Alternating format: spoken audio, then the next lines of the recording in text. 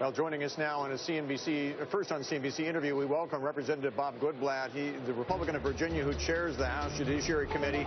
Representative Goodlatte has called on the president to rescind his plan to take in these Syrian refugees, and you did that, sir, even before the Paris attacks.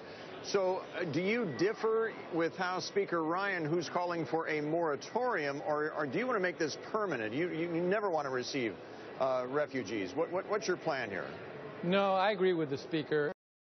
Our concern arose uh, when we had a consultation with the Secretary of State, John Kerry, uh, in which he announced they were going to increase the number of refugees coming into the country, and then a few days later announced we're going to increase it 10,000 more, uh, and those would be Syrian refugees. The president is the only immigration program where the president gets to set the cap, not the Congress. So I think that should be changed. However, the issue with Syria relates to the security. Shortly after that, we had the FBI director Comey testified before the committee, and I asked him about uh, their ability to vet uh, Syrian refugees, and he was very clear that they did not have the resources or the information that could assure uh, that these were not uh, terrorists coming into this country.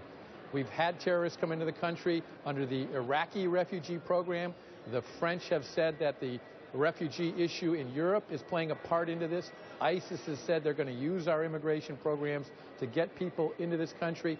It seems common sense to me to take a pause and say we're not going to bring refugees into this country from an area where we know okay. that there's a serious threat. But does that then rule out pretty much all the Middle East and North Africa? It rules out Syria and Iraq initially. I think that's the important thing to do in response to this immediate threat, and we'll do something about that this week.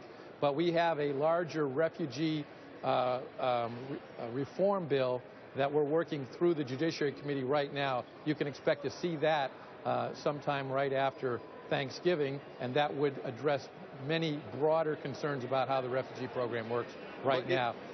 But in the spirit of Kelly's question, you know, the critics of, of those who are calling for a moratorium or just not allowing any of the Syrian refugees in here is that it sets a precedent uh, for a nation that accepts refugees from all over the world at all times. So are we going to set a precedent uh, of not allowing any refugees into this country uh, just uh, because we're worried about uh, one particular group coming into our, our borders?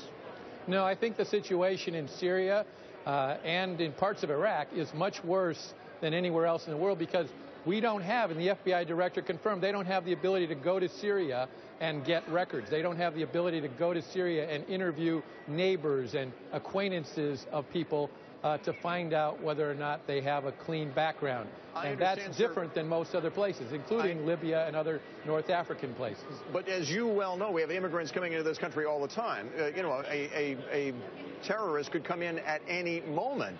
Uh, without us knowing about it, simply because they they had the right paperwork. So they, how do you, how do you stop? I, I, understand the spirit of what you're trying to do with the Syrian refugees, but how do you stop the flow over overall otherwise? Well, we are a nation of immigrants but we're also a nation of laws, so we need to make sure that those immigration laws are working as effectively as possible. And when you have a situation like you have in Syria, we should put a moratorium on bringing refugees in from that country. That not permanently, but until the FBI director, until the Secretary of Homeland Security can certify that the people coming in here are not going to be terrorist threats. That's are exactly you, where we should go. Before we let you go, uh, Congressman, is all of this a piece of what you would advocate for an even tougher uh, standard for letting people into this country than we currently have? Well, I do believe that our immigration laws across the board are not being enforced effectively by this administration.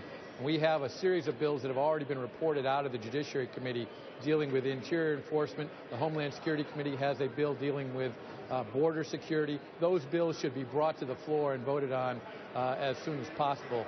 But in the meantime, addressing this particular problem as identified by the FBI director and acknowledged by others as being a problem with getting adequate data, we should okay. not bring Syrian refugees into the country.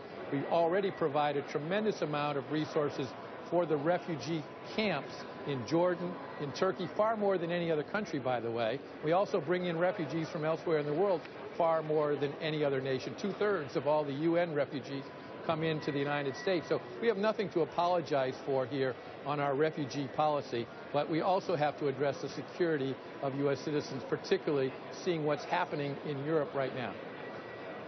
Got to go. Thank you so much. Uh, good to Thank see you, you. Representative Goodlatte. I grew up in his district, so.